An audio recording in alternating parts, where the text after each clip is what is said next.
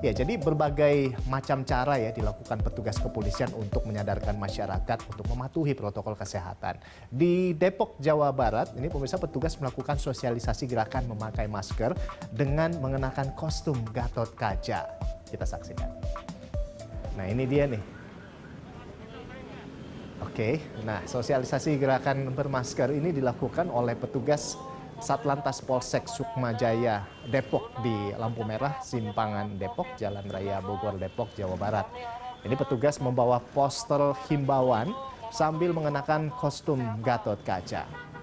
Kapolsek Sukma Jaya AKP Ibrahim Sajab menyatakan sosialisasi ini diharapkan dapat meningkatkan kesadaran masyarakat untuk mematuhi protokol kesehatan. Ya, seperti mengenakan masker, jaga jarak, dan rajin mencuci tangan. Selain itu, petugas juga membagikan ratusan masker kepada para pengendara. Selamat sore bapak-bapak dan ibu-ibu. Pengguna jalan. Lalu pakai masker ya. Iya bang, sudah bang, benar. Oke. Pengguna jalan raya Bogor 4. Kami dari Polsek Sukmajaya.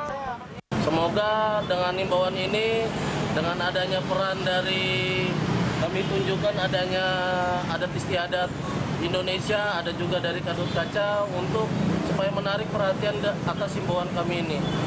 Dan semoga peran masyarakat bersama kita bersama-sama untuk mencegah